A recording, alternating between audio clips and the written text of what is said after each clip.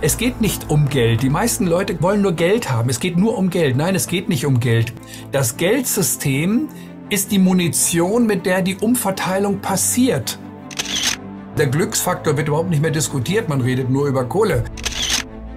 Das heißt, wir haben zwei große Gebiete von Arbeitslosen. Die einen sind in Monte Carlo und die anderen sind meinetwegen in Gelsenkirchen oder in Essen äh, und sind auch arbeitslos das Geldsystem ist eigentlich schon eine Folge und ein Symptom anderer Grundlagen. Wenn wir ganz weiter runtergehen und gehen wir einfach mal davon aus, Niemand hat die Erde selbst gemacht. Die Erde ist uns geschenkt worden im Rahmen dieser Schöpfung. die Menschen sind auf dieser Erde irgendwann angekommen. Wir sind dann hier gewesen. Ich will das jetzt gar nicht erklären, wie. Mhm. Ähm, aber ich bin dann irgendwann in einer Situation und kann dankbar sein, dass ich auf dieser Erde sein darf, die mir zur Verfügung gestellt wird. Der Mensch ist aber derjenige, der plötzlich anfängt, sich ein Claim abzustecken und sagt, das ist mein Eigentum. Die Frage ist, mit welchem Recht kann man überhaupt ein Stück Land besitzen? Und damit fängt das Ganze an, und zwar mehr, als man eigentlich zum Leben braucht. Denn jeder hätte genügend Land. Wenn alle Menschen auf der Erde mit einer vierköpfigen Familie vergleichbar beispielsweise 1000 Quadratmeter Land hätten, rein rechnerisch, da würde die gesamte Weltbevölkerung auf Brasilien, auf die Fläche von Brasilien passen, nicht weit von ihnen entfernt, Brasilien. Mhm. Das mhm. bedeutet also, die gesamte Menschheit könnte in Brasilien leben wobei eine, jede vierköpfige Familie dann 1000 Quadratmeter hätte. Da wäre der gesamte restliche Erdball komplett leer. Also wir haben genügend Platz und genügend Raum für alle. Und damit fängt das Ganze eben halt schon an, wenn wir Eigentum haben und dadurch juristisch in der Lage sind, andere Menschen auszuschließen, mein Grund und Boden zu nutzen.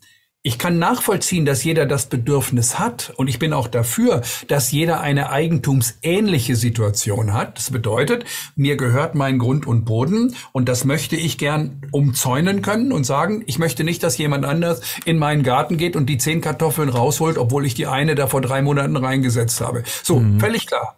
Aber was wir hier haben, ist, dass hier einzelne Personen in einen Ultrareichtum geraten und sie können diesen Reichtum in Form von Grund und Boden oder von Bodenschätzen oder von Rohstoffen auf sich persönlich vereinen und damit alle anderen juristisch von der Nutzung ausschließen beziehungsweise nur gegen Entgelt es nutzen zu dürfen. Niemand hat je einen Liter Wasser produziert, niemand hat ein Gramm Gold oder Silber oder Platin oder sonst etwas produziert. Das hat uns die Natur geschenkt und die Menschen nutzen es und sagen, es ist mein Eigentum.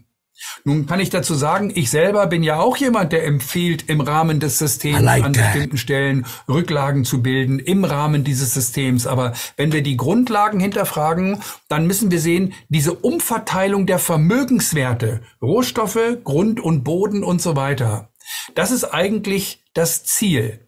Das Geldsystem ist die Munition, mit der die Umverteilung passiert. Es geht nicht um Geld. Die meisten Leute glauben, die Leute, die wollen nur Geld haben. Es geht nur um Geld. Nein, es geht nicht um Geld. Geld können sie sich selber drucken. Dafür haben sie die Pressen, da drückt einer auf den Knopf und dann fallen da unten ein paar Milliarden raus. Das, das können die selber. Nein, nein. Es geht um die organisierte Umverteilung der Vermögenswerte, die man sich angeeignet oder annektiert hat. Letztendlich ist ja alles eine Annexion, jede Form von Eigentum, dass man diese Pfründe, die man da abgreift, immer mehr vergrößert. Und aus diesem Grunde ist es wichtig, dass wir ein Geldsystem haben, welches die Wirtschaft stimuliert. Und die Wirtschaft sollte die Aufgabe haben, die Menschen zu befriedigen in ihren Bedürfnissen, satt zu werden, es warm zu haben, Kultur zu haben, ja, ein angenehmes Leben zu haben. Der Glücksfaktor wird überhaupt nicht mehr diskutiert, man redet nur über Kohle. Das sind alles diese Faktoren, die eine große Rolle spielen, die das Leben lebenswert machen und dann auch die Demut irgendwann zulassen. Das heißt, jeder nimmt sich ein bisschen zurück. Kein Sozialismus, im Gegenteil.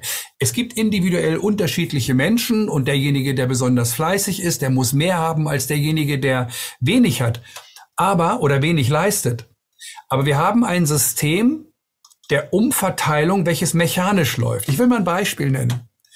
Wenn Sie einen Sohn haben, der geboren wird, heute an diesem Tag, und Sie sind selbst Milliardär, Sie haben eine Milliarde Dollar, Euro, egal, eine Milliarde.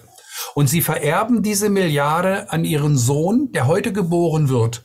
Und dieser Sohn, das heißt, Sie legen jetzt für ihn das Geld noch an, mit einem relativ schlechten Zinssatz, mit relativ schlechten Grundlagen, dann kommen daraus ungefähr 130.000 Euro Zinserträge nach Steuern pro Tag. Ohne dass irgendeiner was dafür gemacht hat. Bei einer Milliarde 130.000 ungefähr pro Tag Zinserträge. Wow. Diese 130.000 am Tag, dafür kann man übrigens ganz gut leben, wenn man sich zusammenreißt. Und diese 130.000 Euro, ähm, die kommen jeden Tag neu, aber die Milliarde ist dann immer noch da. Umgerechnet entspricht das ungefähr 50 Einfamilienhäusern in Deutschland in bester Lage pro Jahr nur an leistungslose Zinserträge aber dann ist die Milliarde immer noch da. Mit seinem zehnten Lebensjahr hat dieser Junge, der Geborene dann, bereits schon 500 Häuser mehr als am Tag seiner Geburt. Und die Milliarde ist immer noch da. Und hier wird das System deutlich. Weil wenn ich dieses Geld bekomme aus dem System heraus, ohne eine Leistung zu erbringen, dann kann ich damit losgehen und kann jemanden beauftragen, für mich eine Leistung zu erbringen, äh, und ich bezahle ihn mit dem Geld, wofür ich nichts getan habe. Ergo, wenn einer Geld verdient oder bekommt ohne Arbeit, müssen ganz viele arbeiten, ohne dafür entlohnt zu werden. Das ist das, was dahinter steht. Und ähm, man kann dann über bestimmte Geldmengen politische Aggregate, indem man die Geldmenge aufbläht und versucht dann den Arbeitenden, die noch, damit sie motiviert bleiben, neues Geld zu geben, denn die wollen ja was haben dafür, dass sie arbeiten. Aber dieses neue Geld wird dann immer nachgedruckt, weil das meiste Geld, das Werthaltige, geht in Form von Umverteilungen an die Ultrareichen durch Spekulation, die kam später dazu, und eben halt auch die verzinste Systematik. Und äh, das führt dann natürlich dazu, dass die Inflation dann irgendwann greift und die einfachen Leute dann immer mehr mit Geld arbeiten müssen, welches quasi zwischen ihren Fingern auch zerrinnt. Das ist die Inflation, die dabei rauskommt, während die Ultrareichen immer reicher werden. Und hier geht es jetzt nicht um dieses böse Reiche und die armen äh, Guten, so rum geht's nicht. Man muss versuchen, das System zu verstehen. Die meisten Nutznießer, die meisten sogenannten Ultrareichen, äh, die haben das System selber nicht verstanden, sondern es arbeitet für sie und die wissen gar nicht warum. Sie sind der Meinung, naja, es passt doch alles gut. Und wir reden oft über das Thema bedingungsloses Grundeinkommen. Mhm. Und viele sagen, das geht nicht bedingungsloses Grundeinkommen. Ich sehe das auch so, dass das bedingungslose Grundeinkommen isoliert gesehen nicht funktioniert. Aber ein bedingungsloses Spitzeneinkommen haben wir schon. Denn wir haben ja jemanden, der Zinserträge hat, nehmen wir mal an 130.000 Euro pro Tag als normaler Milliardär. Das sind die Größenordnungen. Der braucht natürlich nicht arbeiten. Der ist quasi arbeitslos und hat 130.000 Euro im, am Tag als Arbeitsloser, als Kapitalanleger. Das heißt, wir haben zwei große Gebiete von Arbeitslosen. Die einen sind in Monte Carlo und die anderen sind meinetwegen in Gelsenkirchen oder in Essen äh, und sind auch arbeitslos. Und die einen leben eben halt durch die Zinserträge und die Spekulationsgewinne, die fließen nach Monte Carlo. Und die anderen, die jetzt in Essen oder in Duisburg leben, das sind diejenigen, die es über Sozialhilfesätze letztendlich zugeteilt bekommen, äh, von den wenigen, die überhaupt noch arbeiten können. Und hier merkt man, dass diese Struktur so wahnsinnig komplex ist und der Mehrwert für die Menschen insgesamt keine Rolle mehr spielt, sondern das Zu einem Ponzi-Spiel verkommen ist. Ein